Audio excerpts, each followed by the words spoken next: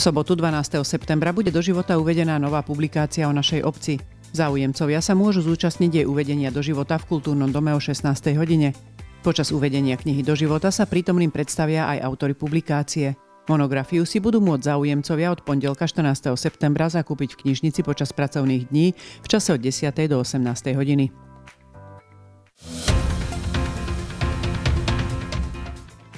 7. až 9. augusta sa v zborove konali majstrovstvá Slovenskej republiky, na ktorých sa prezentovali aj naši leteckí modelári a darilo sa im veľmi dobre. V kategórii OTVR, čo sú historické vetrone, sa s modelom Sokolov stal majstrom Slovenska Ľudovít Pec a v kategórii Pol a Texaco sa s modelom Meteor, ktorý má spaľovací motor s veľkosťou 0,8 cm kubického, stal majstrom Slovenska Pavel Rábek. Dvaja majstri Slovenska naraz z nášho klubu. Skvelá reklama pre klub leteckých modelárov aj obec. Blahoželáme im a prajeme úspechy aj v ďalších súťažiach.